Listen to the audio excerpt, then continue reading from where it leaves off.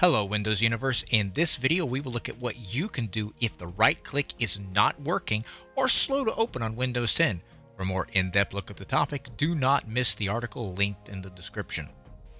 Let's eliminate some hardware problems. Check the mouse for physical damages. Try connecting the mouse to other systems, or if you have a second mouse, plug it into your system and see if it works. If the mouse works on another system or the other mouse does not work here, then it is not a hardware issue.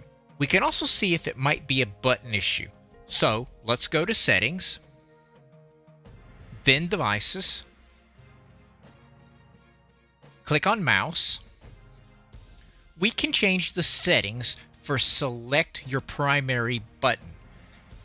You can select it to right or to left depending on your preferences. If you had it on right, move it to left and the other way around. Then test click it and see if that works. After eliminating hardware as a culprit, let's look at some software fixes. If you recently installed some software, try uninstalling it or disabling it and seeing if the right click works then.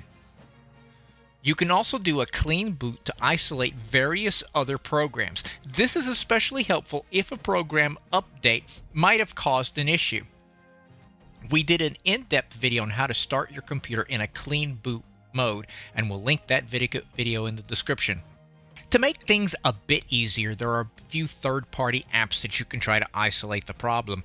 ShellExView can show you all of your third-party software and allow you to disable them one at a time to isolate which program is causing the problem. CCleaner is another excellent tool to use. It will allow to clean up junk files and folders. You can also delete third-party shell extensions that might be hurting right-click functionality. In the article, we offer links to both apps. For more helpful articles to help you maximize your Windows experience, go to our website, thewindowsclub.com. Do not forget to give this video a thumbs up and subscribe to our channel where we are always adding new content aimed at making you the master of your digital house. Thanks for watching and have a great day.